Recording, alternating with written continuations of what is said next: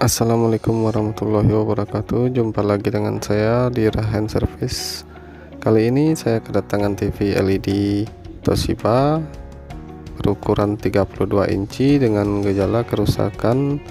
Tidak ada gambar Tetapi suaranya ada.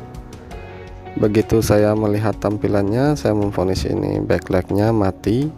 Tampak terlihat pada video saya memukul-mukul layar menggunakan telunjuk tidak ada tampilan bahwasanya backlight menyala.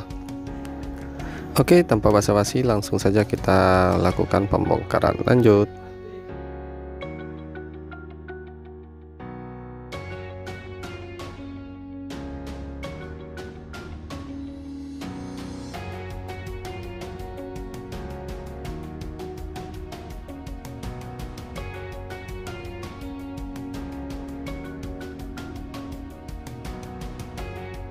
perlu diketahui untuk teman-teman semua untuk melakukan pembongkaran TV tersebut pada bagian sisi panel depan atau casing bagian depan.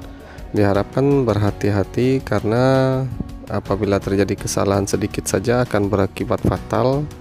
Dalam artian bisa saja membuat keretakan atau layar atau LCD nya mengalami keretakan dan tidak akan bisa dipergunakan kembali untuk itu kita harus selalu teliti dan berhati-hati dalam pembongkaran LCD tersebut. Oke, lanjut.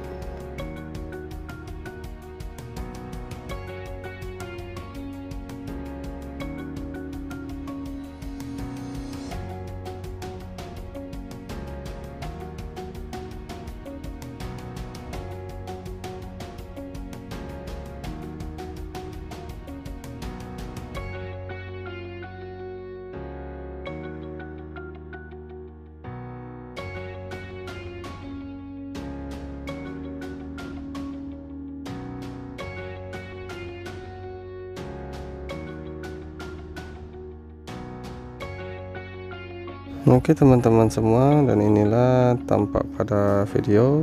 Lednya ada tiga baris yang mana dalam satu baris tersebut memiliki sebanyak 7 kancing dan tegangan 3 volt. Tampak pada video satu led itu redup dan satu lagi kita lihat ternyata di sana putus tidak menyala sama sekali. Dan untuk baris paling atas tersebut menyala semua Oke tanpa basa-basi langsung kita lakukan pergantian dengan menggunakan backlight mata besar atau mata kodok istilahnya. Oke lanjut.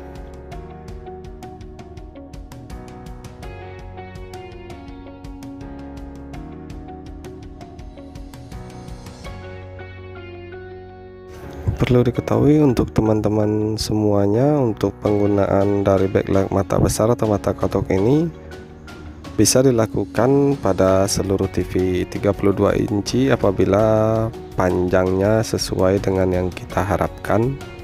Dan inilah hasilnya setelah saya lakukan pengujian sebelum dipasang kepada bodi. Lampu menyala dengan normal dan seluruh tegangan setelah saya cek stabil untuk menyalakan. Jadi lanjutnya kita lakukan pemasangan dan perapian oke lanjut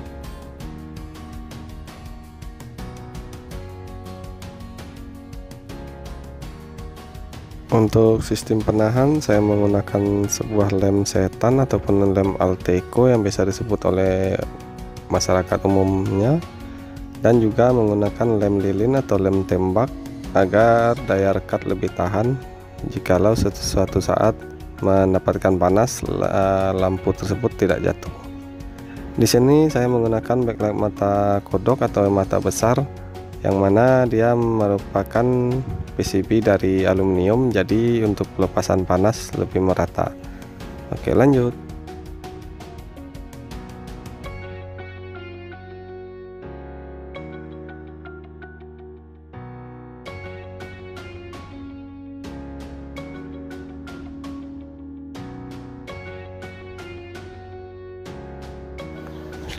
Selanjutnya saya lakukan pengujian sebelum dirapikan seluruhnya dan menyala dengan normal tampilan blue screennya ada. Oke langsung saja kita lakukan perapian keseluruhannya mengembalikan seluruhnya ke posisi semula dan kita anggap pekerjaan ini selesai. Akhir kata saya ucapkan wassalamualaikum warahmatullahi wabarakatuh. Jangan lupa like, comment, dan subscribe nya sampai jumpa di video selanjutnya